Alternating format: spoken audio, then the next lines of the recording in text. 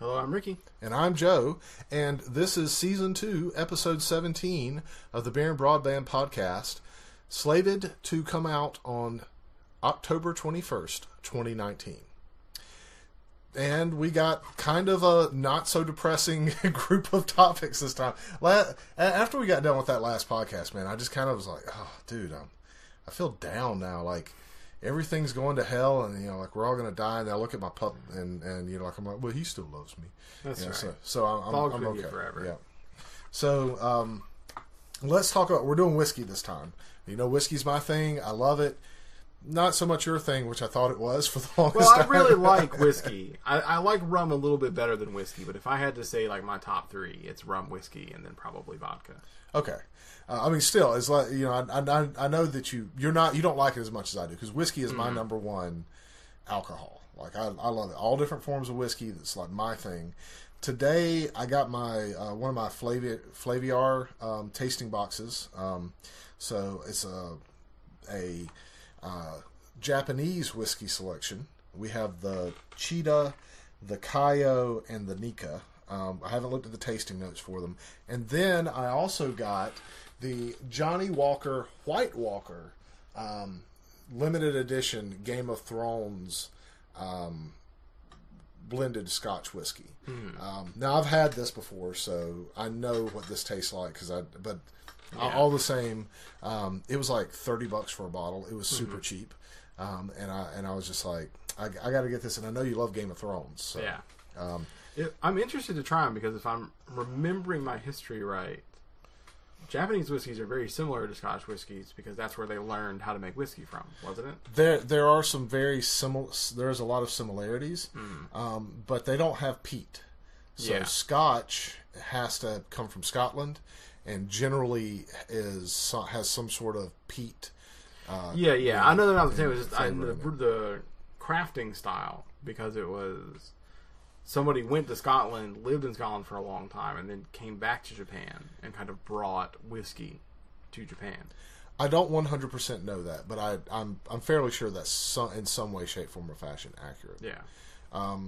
So let's uh, let's start with the Doom shot glass. Uh, so this is the Kaiyo, um, and let's see what what notes you get off of it.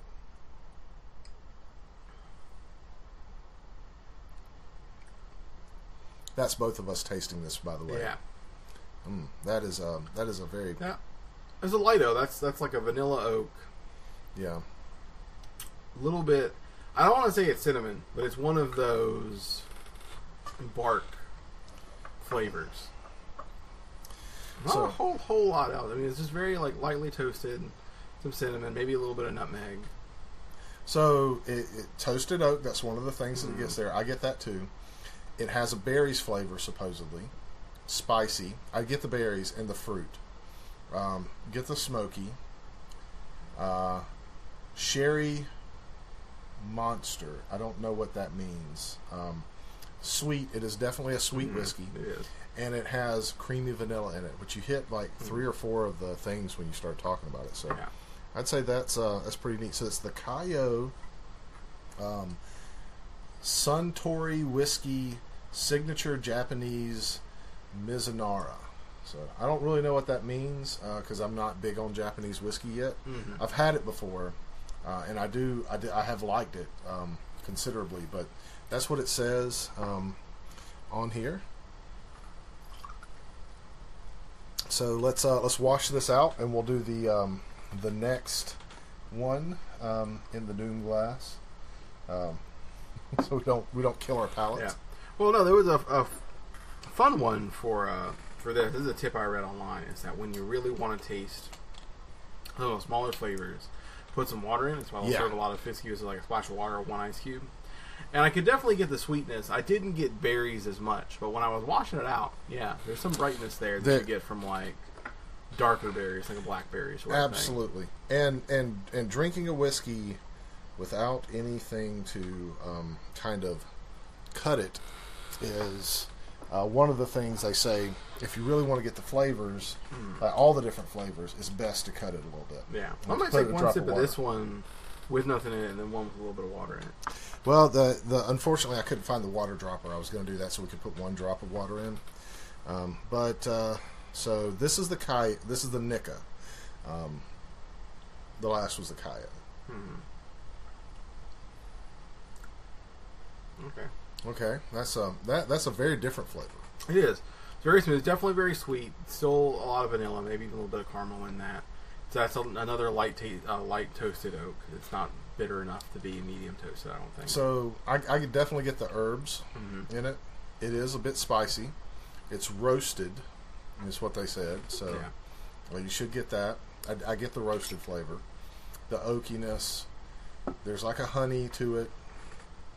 I don't really get the sherry or the oiliness, and it says you should taste some grains in it. I don't. I didn't get the grains either, but maybe if I Well, I mean, it's, if we're if we're talking about roasted grains, that's a caramelish flavor.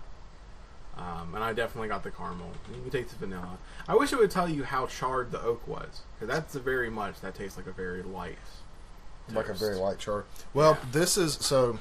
Of all of them, this is the darkest, as you can tell. Mhm. This is the second darkest. The lightest is the one we're about to try, Yeah. which is the um, the Chita. Um, that's Suntory whiskey, single grain Japanese whiskey. So this is all from the same grain instead of instead of um, uh, multi grain. So Mm. you, you went for the I went down the line. Yeah, I Yeah. drank the wrong one. Hold on, let me clean my palate. Skipping ahead to Well, I went down the line. I forgot that we were we were filling one glass back up. Yeah. Now I put a little bit too much um, in there. You're, you're sniffing the wrong one too. Is it not the new glass? Th this is the new one. Oh, we just had that one. No, that's the one that you just um, that that you you tasted them out of order. Okay, I've, I've messed up. Some. I thought we were doing Doom Glass to this one, then back to Doom Glass. We filled the Doom Glass back up Um, because this is the one I, from the last review I just drank and uh, stayed in my so hand so we, time. we screwed that up the whole the whole thing. I, I I either messed up or you did. I think no, I thought we were going back to Doom because this was in my hand the entire time. There's no way you filled that one back up. I feel I filled the Doom glass back up. Okay, so we did the Doom Glass twice in a row. Yeah. Okay, then yeah, I already had this one in my hand when we were talking. so you filled it back up, and I just drank the one out of that. So maybe that's why I thought it was much lighter. Yeah, th- this one is definitely a much lighter whiskey. Mm-hmm. So uh, you did the the Nick the Chita Mm-hmm. is what it is, and and uh, this one's got mango. I definitely get that. Yeah, yeah, I got. Sweet, honey, lemon, caramel, savory, and some some. So it's, it's very fruity, and I like Yeah, it. yeah. It's, it's very it is very good. Yeah. It's a it's definitely a super fruity one. So Okay, now yeah. now you're talking about the Nikka. So yeah, taking the second one, that is much more roasted. That's probably a medium toast on that one. And It's not peaty, but it's a lot. It's a lot oakier. It's a lot. Well, of, they they don't have peat there, so they, it yeah, wouldn't yeah. be peaty at all. But I know, but like a lot of people get peat and oak kind of mixed up on it. But it's got that like strong. oh, I don't. I still don't want to say that's a heavy charge because you don't get like the earthy notes as much. But that the the previous one was definitely a medium roast. yeah, well, it's I mean I think it's a light, lightly roasted because The it's second one.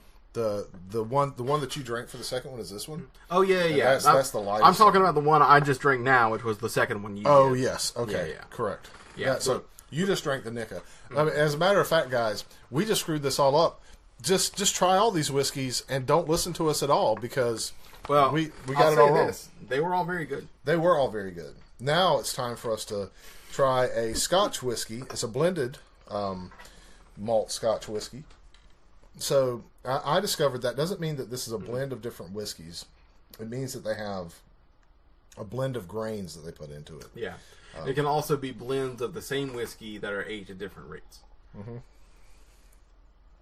But uh, this is the Game of Thrones, and it's definitely a Scotch. I mean, there there is such a different flavor between all of these, and uh, I've tried this both with a bit of water and without, and um, I am uh, super happy with the um, with the flavor of it. I love it with a little bit of water in it because the the Johnny Walker uh, has like kind of um, a more scotchier kind of kind of flavor to it. So I'm I'm super super happy with it. Yeah, it's not bad. Though I, I've realized having a lot more whiskey now because we do these podcasts and we hang out a lot. I like whiskey more than Scotch. I think because of the peat. Yeah, I, I don't. I like raw, just pure oak more than I like oak mixed with other things. I got you. Well, so um, Scotch uh, is it, the the only thing that's different between Scotch and whiskey, as far as like m- most of the things, is that it's it's made in Scotland. There's a lot of them that don't even use peat. That's true. They, they, there, there are ones that aren't peated. So So th- this is Yeah. not a peated. Really? uh, so I'm, I'm it's pretty certainly sure. got, it's got a flavor to it that I couldn't place. Maybe it's just like a different type of oak. It well, it's I mean it's it's Scotch, and Scotch gets its it's the the the flavors of the grains that you're going to get from this are going to be different because of the terroir, terroir, however that's pronounced. The the flavor the the earth imparts into the grains that it's got, so it's going to be different. Um, but yeah, I mean, I think that if if I was going to get a sipping whiskey that I was going to have, it, as much as I like the Johnny Walker, Johnny Walker is not my favorite Yeah. whiskey, anyways. Um, I prefer Scotch, you know, um, and I would just go back to Glen Le- Levay, Yeah. Glenlivet, however they say it. But, um, but if or Glen Moringa, Morangi, Moringa, I am so bad at pronouncing those names.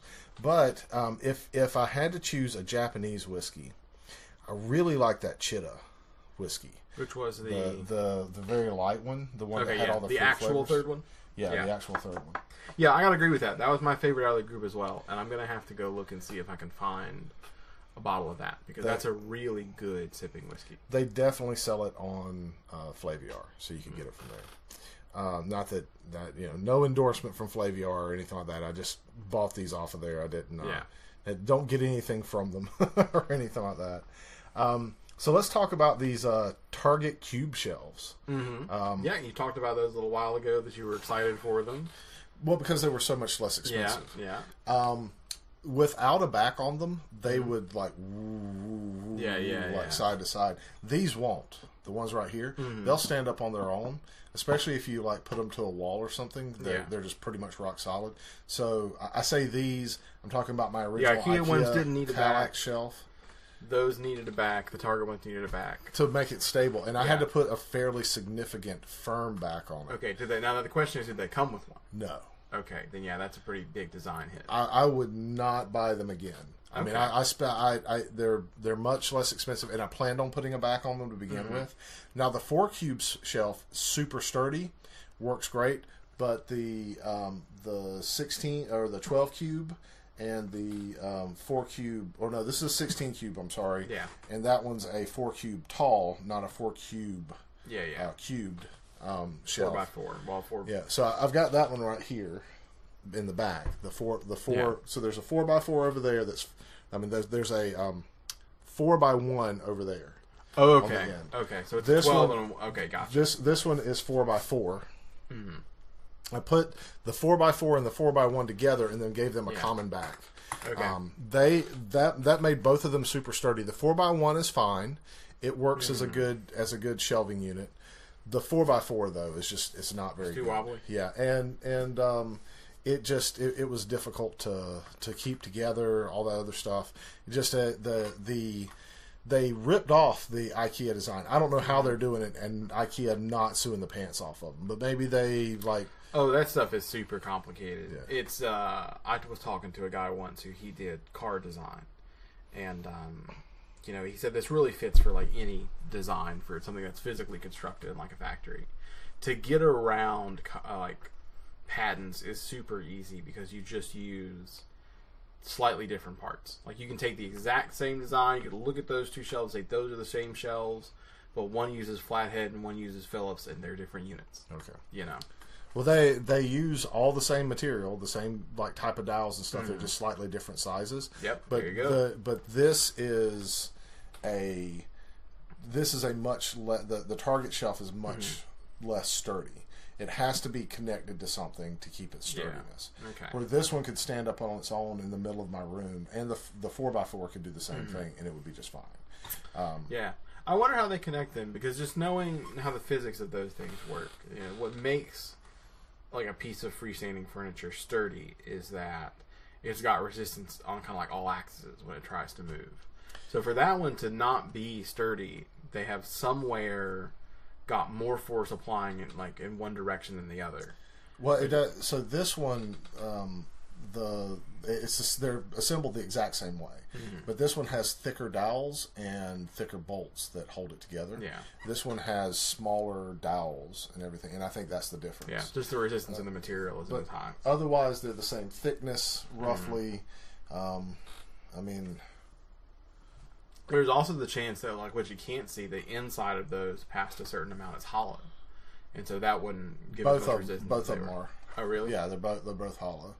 Um, it uh, it really is just that this one is has smaller smaller p- pieces with bigger holes that Okay. they go into. And this one fits more snugly into Okay. together. But um, this this thing, once I put the back on it, it's fine, uh, and it'll freestand. It's not designed to freestand. It's designed to go up against a wall. Okay. Yeah. I I mean, I had the same problem with those shelves. Mm-hmm. Without being attached to the wall, they wobble. Hmm. Um, they don't. They they don't hold themselves together. If I ever move and take Yeah. them out, uh, they're just going in the garbage. They're Okay. not. They're not. Uh, they're not designed. Yeah, I, it's. I, I get really conflicted about stuff like that because on one hand, a person who maybe wouldn't be able to afford an IKEA shelf can afford the Target shelf. Right. There's something to be said about availability, a scale of price points. But at the same time, like I feel like our furniture market is kind of collapsing in on itself, where you've got the really expensive high end furniture, and then you've got like crappy furniture with no place in between. Like a, a lot of the stuff that like my mother keeps bringing in, because she's moved in with us. Mm-hmm. Oh, I bought this this bookshelf on Amazon, and it's like, okay, well, yeah, it was about fifty bucks cheaper than the bookshelf that we bought at a furniture store but it's just complete crap. Like even with the little back it comes with on it, it's you know bowing and bucking. and can't hold children's books well. Whereas like you know we went to a discount furniture store and got a solid wood, you know, no particle board or anything like that bookshelf for just a little bit more. And it's like, why, why does this particle board one need to exist? Why can't Well, we just? so but that that's exactly kind of what I'm getting at is Mm-hmm. that this this is like um a hundred and sixty dollars. Yeah. This was a hundred roughly. Yeah, they're really not even that much cheaper. I, in my head, when we were saying, "Oh, the Target shelves are much cheaper," I was thinking of like the little nightstand we got from Target that was like twenty five bucks. Yeah. You know, if it was like a forty buck bookshelf, it's like okay, I don't expect it to be as good as one hundred and sixty, and maybe I can understand. You know, someone could afford the forty, but not the one sixty. But you're saying hundred bucks for this versus hundred and fifty for this other one, and the Target one needed modification to be usable. It's not really actually hundred bucks. It's hundred bucks plus whatever you had Yeah, to spend exactly. to get it stable. Now, I mean, I already planned on having that happen because I, I wouldn't even put these in, in the center of the room without a back on them because I wanted to have um, stuff attached to the back of it. Hmm. So that that that was designed that way. I wanted I wanted the aesthetic of the cube shelves because Hmm. they fit with everything else that I've got in this room. But all that said, it just it, it doesn't it doesn't work like it's supposed to. Yeah. So that that's not cool. I don't recommend them. Don't get them. You know, don't, don't get the four x four. If you're Yeah. going to get the four x one or the four or the two x two, that's totally cool. Um, I wouldn't get the three by three by four, three by three, anything like that because that I, I mean I had to reinforce them, and and it, you know for anybody that's like, well, you know, you just didn't put them together right or whatever. Look, I use glue. I I put in metal brackets Yeah. around it to reinforce it. Uh, the big mistake that we made, funny story.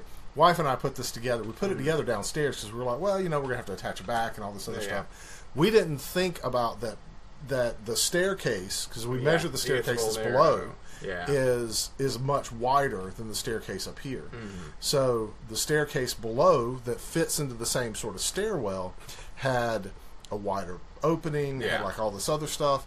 Works worked really super well to be able to do all the things that we wanted to. Mm-hmm. Staircase up here, we just tore up the wall and almost destroyed the shelf. yeah, yeah. I was gonna ask, uh, how'd you get it up here? I guess if we went up the stairs, I, I thought that you had to like attach something to it and pull it up just over. Uh, well, it wouldn't have it wouldn't have held together to do that. It would have That's fallen true. It's not stable enough. Yeah. So, I, I mean, I, that's that's what I would have done if it was stable enough and I Mm-hmm. Had all the straps and everything to do it. Still would have tore up the wall. Yeah. Um, so like it, it was just a comedy of errors. When you, when you go back downstairs, you can see. yeah, I the- saw it on the way up. I just didn't. I didn't remember if that was there before. Or At not. one point, we had it stuck into the walls on Uh-huh. both sides, and we couldn't get it to move. Ooh, yeah. We just had to like kind of like manhandle it through. There's a big tear on this Mm-hmm. Yeah, wall yeah. and a big gash in that wall that I'm gonna have to fix and repaint and everything. So, fun times at the Bradley household. Um, all right, so PS4 games streaming to Android and iOS devices. Um, so the PlayStation 4 Mhm. always had this to their Sony Xperia phones, where you could Mhm. like like the uh, the like you used to be able to do, where you could stream games to your PS Vita Yeah. and stuff like that. Super awesome, like technology. Mm-hmm. Love game streaming. I don't really know how you feel about it. No, in a situation like that, where we're saying I'm streaming from my console to another device in my house, love it because it eliminates my big concern about it. When we talked about like the Stadia and the, the Mac gaming and stuff like that, my big concern is going over the internet. We don't in enough of the country have the infrastructure for I feel like to work really well. Mm-hmm. But absolutely, you know, in your house, you have the ability to stream from one device to the other fairly well. Maybe if you're in an apartment complex, it gets a little rough because there's a hundred networks around you. But you know, if you've got a decent home Wi-Fi setup, you can stream to anything, and it's not. It'll be some delay, but not to I think a degree that's like game changing. Well, so but now you compare the controllers with Mm-hmm. iOS 13 and and Android 10 Android? to your device and be able to use them with so like you're streaming it's just like you have a remote screen Yeah. and you're able to use the, the No, that's awesome. I love that. yeah that that is it is it is awesome i love it i i i prefer it on the ipad or Mm-hmm. tablet versus um, something like a um, a, a phone because Mm-hmm. as cool as cool as it is to be able to play those games on a phone and there is some coolness sometimes the details are just a little bit too small Yeah. for me so i prefer a tablet size screen so like a nice Mm-hmm. 10 inch screen but I, I mean total it is totally cool being able to play something like the witcher or something like that on um, my tablet amazing being able to play spider-man um, ps4 version Oh yeah, of I mean, there's so many awesome. good uses for it. You know, you got a multi-story house. You've got delivery coming in. Everybody knows how UPS and FedEx are. They show up at your door, they slap on a sticker, they walk away. Half Yeah. the time, they don't even knock. It's a perfect opportunity for you to sit downstairs and play your PC games on your bottom floor because you can just stream it from your computer that's upstairs to your tablet downstairs. Well, that mean- that's the that that is not the PS4 streaming. That's that's the console. The but the, Well, that's the- true. the- Uh, yeah. instead of your computer, your your console. Yeah. the same concept. You know, you get more mobility in your house out of your game. Love that. Yeah, I, I mean, I love being able to have my super powerful computers up here Mm-hmm. and stream them to my Nvidia Shield or my. Um, I, I do prefer the st- the streaming built into the Steam um, Steam Link. Yeah. and I hate that that was a discontinued item. I still use it like Mm-hmm. Yeah. all all the time. Um, but yeah, uh, having having Steam streaming in my house is great. This is just like the next level of things that I can do. It, it at, at whatever point I get where I can have a tablet that lets me stream, lets me plug into my TV set downstairs, and will let me stream from my PS4 up here down to that.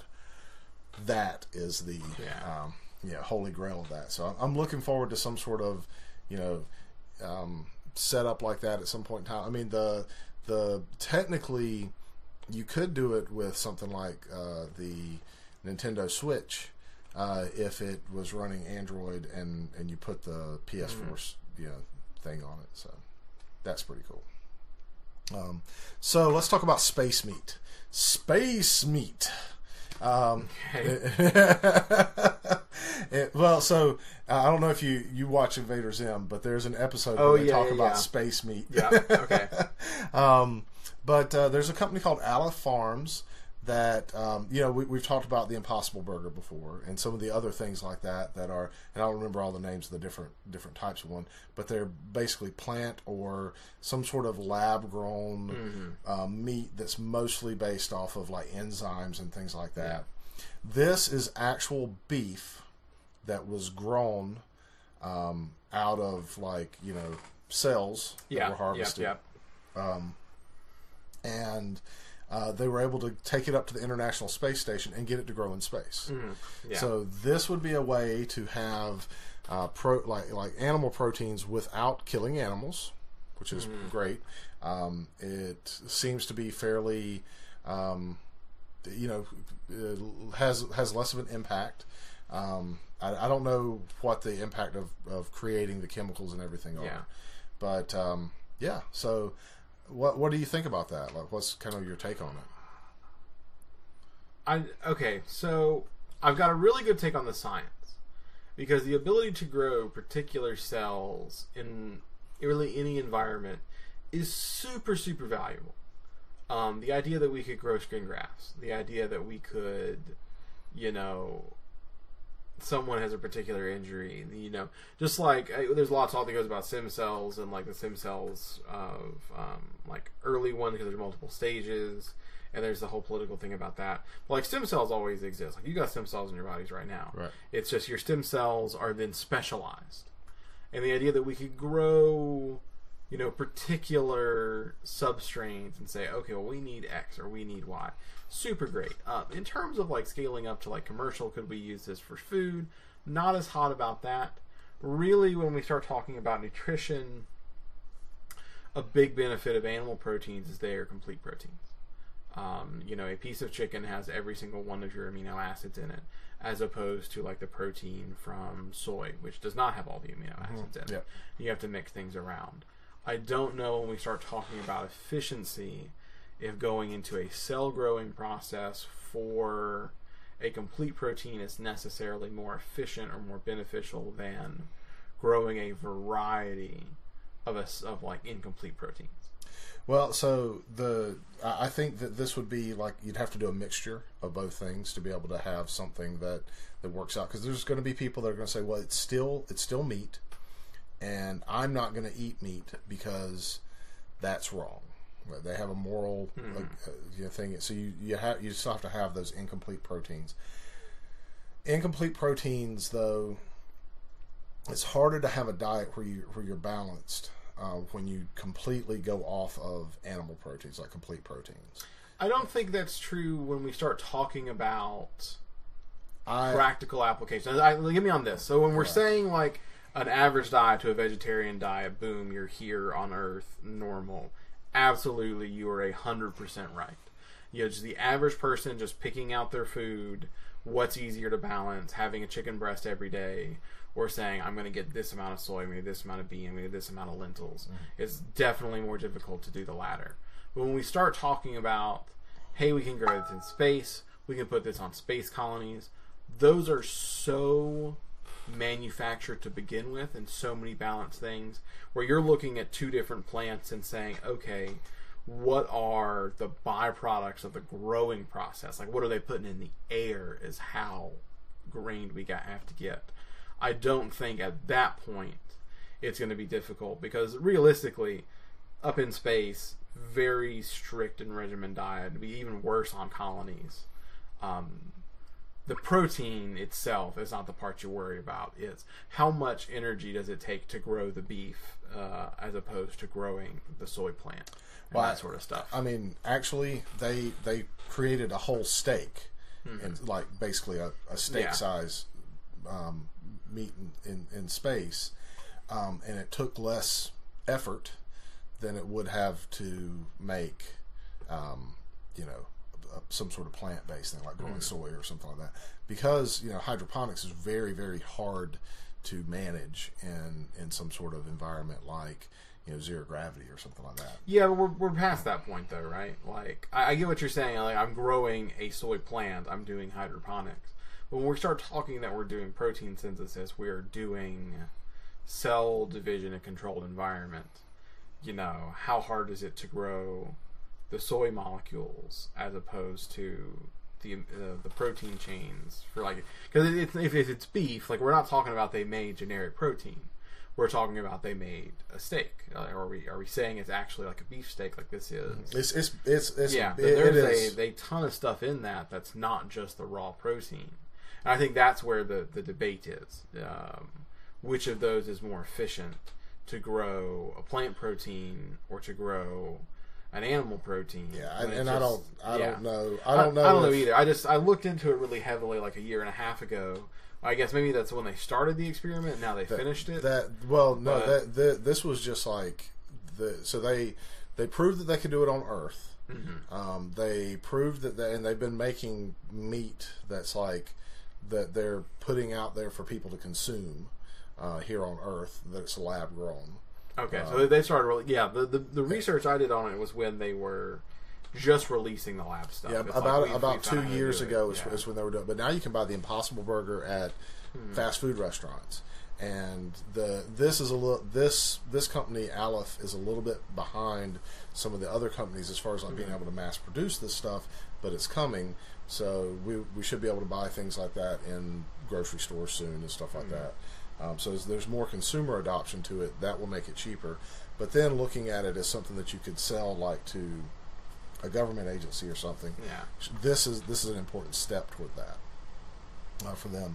And it wasn't something that they grew over like two years or something like that. It was like we you know we grew this in like ten days or something. I don't know Hmm. Exactly the time period. Yeah, I don't know. I don't know how I feel about that. On, on that, it's an interesting sell on the idea that yes, this is beef, and yes, this is beef that didn't have to have an animal attached to it. But the flip side, we already are taking such big steps that people are kind of not liking. Really, the completely tame genetic modification we do to like plants we grow. You know, there's the big horror story of like, oh, this is part rat, but really, it's like, well, no, we just kind of spliced this one little thing out of it, where we put this one little gene back in to make it more frost resistant. You know, we get people talking about that stuff all the time. Is that good for you? And now we're just saying, well, here's the thing that was 100% grown in a lab. Well, so while while I'm all you know Hmm. with you on those things, and then you know being able to grow the the plant based stuff, it makes it makes it a little bit different. the The thing that I that I basically get out of this though is that we can get away from some of the things that we do that pollute the most, which is you know growing um, and having. That's true. I mean, it's, it's a different game on Earth. Like when we start saying, uh, where does the meat you and me eat here in our homes come from? You know, that's a different topic. And I'm interested to see kind of where the consumer world goes with that. Considering we're already sometimes, and I know it's not everybody. I'm not even one of the people that fight it, but you know, because I think you know, there's really no harm in a lot of the, the genetically modified stuff we eat. But there's absolutely subsets of people that want to eat less and less modified stuff. That then say, here's a 100% modified product that like could not ever exist naturally. You know, what's their adoption rate looking for? You know, when we start talking about space and colonies and stuff, it becomes uh, a different battle of what is just purely the most efficient because that's what matters in those and environments. and I don't I don't know. I mean, I, I definitely haven't. Uh, as much as I follow this stuff, I haven't Mm. heard anything about. Um, Which we really won't from the Yeah. space station. I mean, the important thing to know about the space station, a lot of people kind of treat it like Colony 1.0, which it's it's not. The- Yeah. The the space station is purely meant for scientific discovery and testing. Yeah, I mean that's yeah. that's what it's there for. It does a great job at it. But uh, so yeah, we might not get the answer from the space station of okay, if we scale this up to a colony, which is the most efficient. You know, that's kind of for now that the science is known. we'd, we'd have to have like a, a moon base or something. Well, no, this is for people to do afterwards. I mean, it's like the space station is kind of where the experiments happen. The analytics of that kind of happens later on Earth. You know, it's Yeah. like saying we've proven a hypothesis. Here's all our data. It'll probably take us two years to scrub through it, and anything that looks great we'll retest and stuff like that. So you know, a decision will, will come on that later. It's cool to see that they were able to grow it. I don't think there was a. I guess there's always some concern because you, you know how gravity and certain other like low resource stuff works, but just the science for how protein synthesis happens, it shouldn't be harder to do in space than it is to do it on Earth. So I'm not too surprised to see that it worked okay.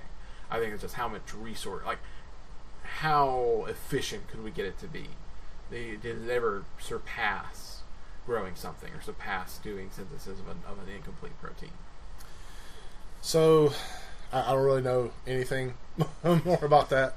So let's talk about the Google Stream Transfer. I, I kind of demoed this Mm-hmm. Yeah, for yeah. you earlier, so um, I, I don't really have to go into much detail for you, but just for listeners, basically, Google has a new feature of its um, um, Google Play Yeah. uh, Go- or G- Google um, uh, the Chromecast, uh, you know, Chromecast audio and Chromecast, where you can take a, some streamed audio or something that's being streamed to one device and stream it to another. Now I have like zones set up in my house where I'm like, you know, I say the the buzzword and then um, you know it it will do my whole house or it'll do a floor or it'll do like a room, you know, and stuff like that. So I um, now you know like earlier today i told it to do it all throughout my house uh, for you and then um, i told it to just do the um, the bottom floor and it you know it did it, Yeah. it switched it over to it which is a really neat feature that hasn't been around i think um, that that is one of the things that the amazon um, devices that their, Mm-hmm. their streaming devices like the the uh, dot and, Yeah, and yeah. the echoes and stuff like that. Those those have have that uh, a, or a similar ability um, to to switch between, but you Yeah, couldn't tell it to switch to do to a certain group. Um, so that so I haven't used that that that echo in a while that I have. Yeah, it was a little interesting to hear they hadn't they didn't have it, but it is cool to see that they do have it now. Before, were you able to basically just not do the transfer? So you could say, "Hey, do it everywhere," and then you have to say, "Okay, well, stop. Now do it just upstairs," Or just- doing the just- You just say play here, and it would just mm-hmm. it would just It start play playing, but it wouldn't Okay. pick up where it left off. Yeah, yeah. Okay, so I mean that's a cool feature to have. I feel like that was a good low hanging fruit for them to throw in. It, it's you know not not probably a high effort feature, but it's nice to have because it's, it's kind of how people want to use it. Maybe not. I mean, uh, lo- looking at the complexity of something like that, thinking about how it could be low hanging fruit, um, being able to. So, if it was just it started like the song over or something like that, and it had like some sort of caveat, but it literally just picks up where it left off. Yeah, but that's a super easy thing to do. The the because it already has to have the ability to do that because you can pause it, move to other tasks, and resume. It has timestamps of like where it is. It's really just about taking the cue of the command and then pulling the data of like the current state and then just feeding that into the command into another one. Like it's not in the sense that like it's a super easy feature and like oh they should have had it already, but you're essentially just taking commands that have already been recorded, pushing them to a separate section of devices, and then just feeding in a couple extra data parameters. Kind of the same way of like you know how you can you can take a YouTube video and resume it from anywhere or send it to somebody and it resumes at a particular spot because in their basically whatever they're using for their call, whether it's like just um, HTTP or it's like JSON or whatever. There's just a field to say, okay, and it then start at this timestamp. Yeah. And, You know? well, the the time stamping definitely is a feature that they've they've had for a while with Mm-hmm. YouTube videos. Being able to like do it on like Netflix Mm-hmm. or something that's outside. So, you know, we were using Spotify Yeah. at, at that point. Um, but it- something that's a built-in Google service, I Mm-hmm. see as that probably being more trivial. Being able to pick that out of like a partner service or a service that's not a partner but just has the cast feature built into it, Mm-hmm. I see being more difficult. Maybe. I, I mean, I don't know all streaming services, but everyone that we've used, so like Spotify, Google Play, YouTube Music, all of those support timestamping. Yeah.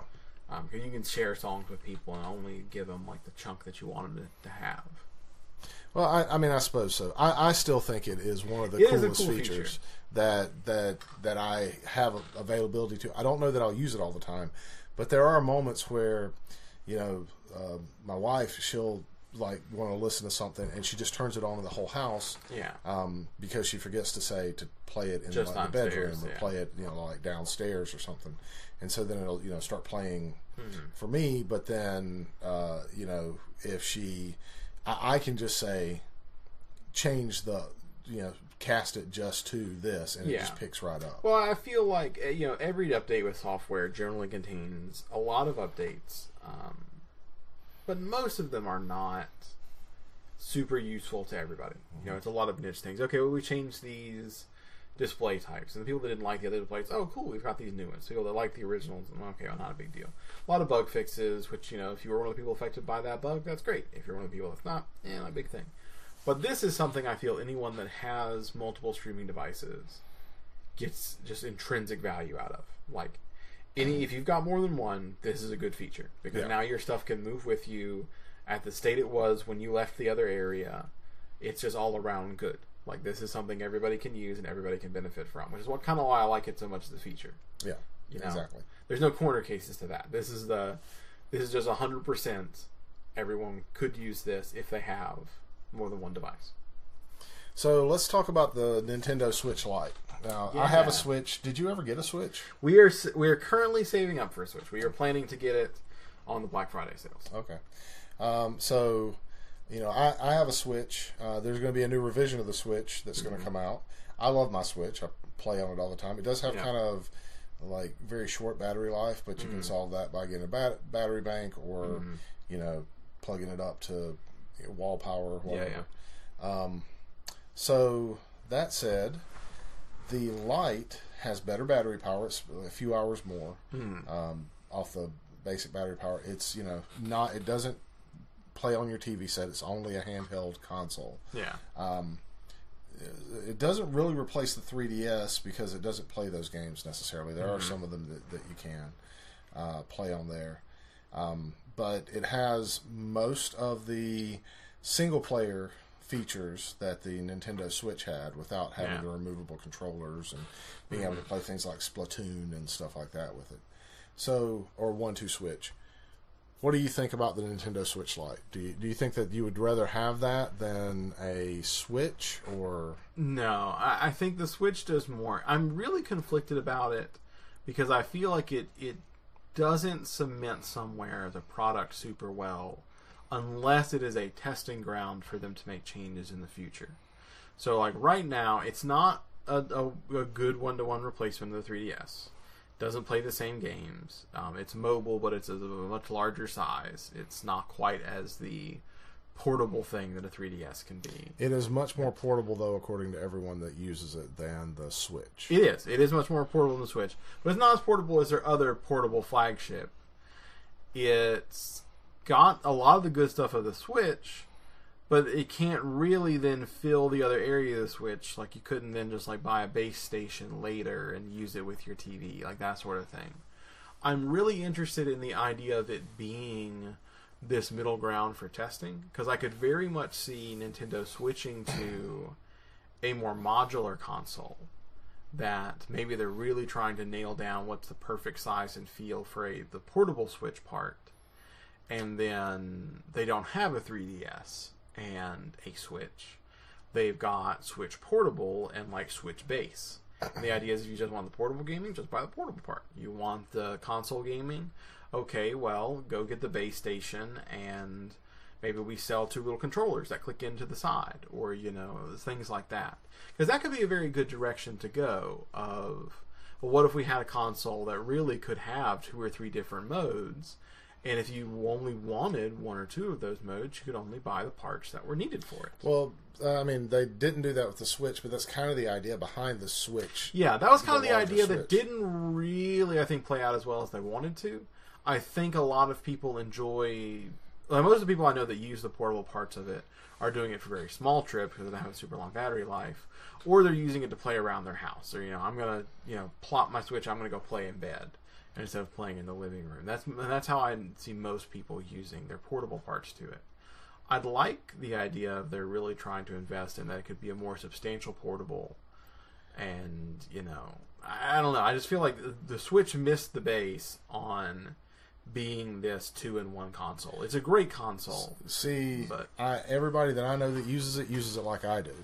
Um, at home, it uh, it it's rarely ever docked. Hmm. It goes around with you, uh, but you have to plug it into something, a battery bank or Yeah. or wall power, uh, and you use it. You just use it in different locations in your house. Um, but when you go on a trip, that's when it really shines because you can carry that device with all your saved progress and everything like that on the trip with you and you've got the ability to you know play offline or online whatever thing you're going to play and so you've got you know like i went um, to a party in greensboro Mm-hmm. you know a, a while back and i took it with me and while i was you know not doing anything i was able to play some switch games Yeah. uh, and that was a lot of fun See, that's th- and I'm not just discounting your experience with it, but I just don't know anybody else that plays it that way. I think I know I know a lot of people that just play it around the house. That you know I'm going to go play in my, my bedroom. I don't know too many other people that travel with it, but also most of the other people I know are not very tech savvy. They don't have a battery bank. They don't really have some way to extend the battery life on like a long trip. so that and that's interesting because everybody else that i know uses exactly how i do really, Yeah. How technical are they? They're not very. there- Ah, There's a, there, there's some people that aren't very. Okay, they don't. maybe- they don't it's like necessarily carry the battery bank. Some some Mm-hmm. people do. Some people don't. I think, but I think that the Switch, um, it is that perfect you know blend. It just Mm-hmm. it, it doesn't have the battery life that I'd love to see, and they've got Yeah. a new revision coming out that probably will have it. But I think the Switch Lite, um, where it shines and falls apart, is the ability to have like if you need to go pack light, but you still want to be able to carry something like that, you've got the Switch, Yeah. and the Switch is just like a couple more ounces heavy. It's a little bit bulkier, but if you've got to have like you know a smaller case, you need to be able to just carry like three games, a couple of things like that. You or maybe you, you just want to be able to have one game that's that's inserted and the rest of them are you know like on the Switch Yeah. itself. Um, then you, you've got all that stuff there. The problem is for me, in between these two things, is that if I want to play a game from my Switch, it doesn't have like an ability to cross the saves between the two Yeah. devices. So I'd have to find some janky way to move my save from this device over to this one mm-hmm. or something like that. And that that's a problem for me. But other than that, I totally see a purpose for the Switch Lite, especially for people that only use it as an on-the-go device. They never carry it. They never like really play it in mm-hmm. their house. They they uh, undock it, carry it with them everywhere. Um, so I, I mean, I can totally see the Switch Lite as a viable product, and I've seen some YouTubers who are like, "I love this thing. I love I, I love it even more." And I, I mean, I'll admit, I want one because of my tech addiction Yeah. uh, and my gadget addiction. But I think that since I have I, I have all my save game progress and everything on my Switch, I really can't see there being much of a purpose for the Switch Lite other than just a new kind of gadget for me. So owning a Switch already and being fairly strong enough to be able to like hold it up wherever I am, no no big deal. Unless the Switch Lite has something that it brings to the table that the Switch doesn't uh, at some point in time, it just feels more like a lighter thing for somebody who doesn't want to carry as much weight around when Yeah. portable, basically. Um, so yeah, I mean, I, I think we kind of agree on that. It's not. I I, I don't know that I'd. Nec- I'm I'm going to buy one, but I kind of want one. yeah. Well, we debated for a while. Um, we did, we decided we did want the the full Switch, but yeah, it's it's an interesting product to me. I don't dislike it, but I'm also like it's not a must buy. Yeah. It's a very much. Uh, I'm I'm kind of want to see where this takes their market. The I, I I think that the Switch Lite might eventually replace the 3DS. Yeah, that's that's what I was kind of feeling when I saw a release. Like, okay, is this just them really trying to nail down another good portable? Because I think their their 3D technology has kind of become just them. You know, they released the 3DS in a time where 3D was still really like budding, and the question was how do you do it? And kind of the market split into these these headsets, and not as much on the the thing you see. Yeah. Because the 3DS, uh, the 3D is not bad, but it is it is not as good as a headset 3D, and you can't play it as long. And it does have some the caveats. If you gotta like, it's gotta be there. They could you could never scale it up into like a TV setting. It has to kind of be this. You're directly on. I don't use I don't use the 3D setting Yeah. on my 3DS, and I, I mean, quite frankly, uh, my kid got a 2DS, and I would prefer to have it. Yeah, I know a lot of people that 3DS. made that switch. I I mean, I, I like the the two the 2D or the or, or whatever, not the DS version, Mm-hmm. but the the uh, the one that was just the it had the two screens on it, but it was just a Yep, it's a single unit. single unit. Uh, I, I, there are a lot of people who said that was great, but I kind of like the clamshell design of Yeah. the of the. It Uh, makes it a little bit more portable. It also makes it a little bit resistant to being damaged. Like Yeah. if something presses against it, it doesn't crack the screen or Hmm. something like that. Well, so um, this is the end of season two, episode seventeen of the Beer and Broadband podcast. Um, definitely don't pay any attention to the beginning of this because we totally got our whiskeys all screwed up. But the whiskeys were so good. They were they were great. Uh, try all of them. Uh, that I think is what we come away with. Uh, just don't expect them to all be the same. And um, other than that, we'll catch you next time. Have a great one.